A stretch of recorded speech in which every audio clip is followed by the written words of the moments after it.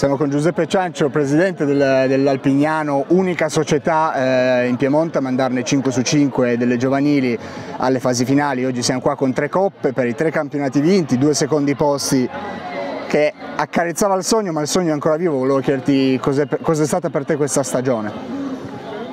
Eccezionale, eccezionale perché comunque ci puntavamo comunque perché comunque le, il settore giovanile lo curiamo molto, eh, ci puntiamo eh, e quindi se vogliamo ce l'aspettavamo ma è una cosa che non, è, non era sicura di, di, per nulla, però diciamo che siamo contenti per questo.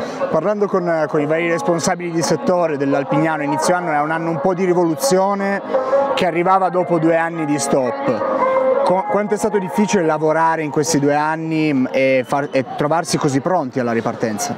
Guarda, io devo dire che do massima fiducia ai miei, ai miei, preparatori, ai miei allenatori e loro la ricambiano perfettamente perché io eh, se vogliamo non ho grossissimi meriti tranne quello di, di tenere la società sempre eh, presente e, e molto, molto, sana come, come finanziamento, come, però diciamo che noi ehm, li abbiamo scelti negli anni e, e quest'anno diciamo, è stato l'anno migliore, almeno da quando ci sono io che, che hanno avuto dei bei risultati, però ripeto è sempre una cosa molto molto voluta, cioè ci puntiamo molto sui giovani, quindi infatti la, l'Alpignano negli anni ha sempre puntato sui giovani, un po' meno nella prima squadra.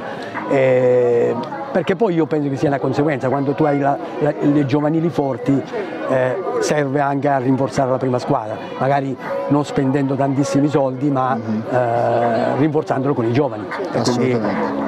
Devo dire che funziona, eh, anzi quest'anno proprio funziona tutto, eh, quindi sono, sono, contento. Perfetto, Presi, le, le, due domande più scomode alla fine. Sì. Quanti titoli regionali sperate di portare a casa con cinque squadre alle fasi finali? È una, è una domanda da, da, 100 milioni di dollari. Esatto. Noi speriamo il più possibile, no? poi ci sono anche gli altri. Perfetto. Quindi già due sarebbero già buoni su cinque, no? Esatto. L'altra domanda più fastidiosa, si parla di, di, un possibile addio di Omar eh, Cerutti sì. in direzione Chieri.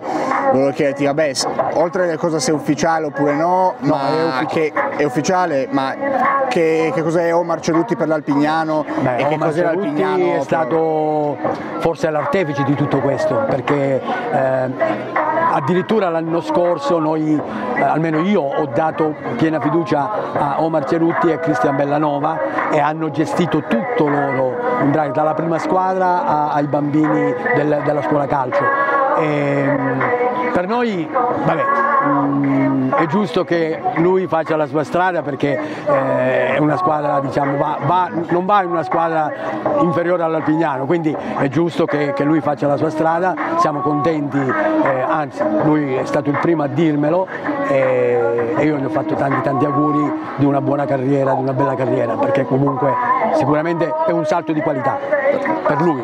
Perfetto. Press, grazie mille, buona festa che deve ancora grazie, cominciare. Grazie a voi.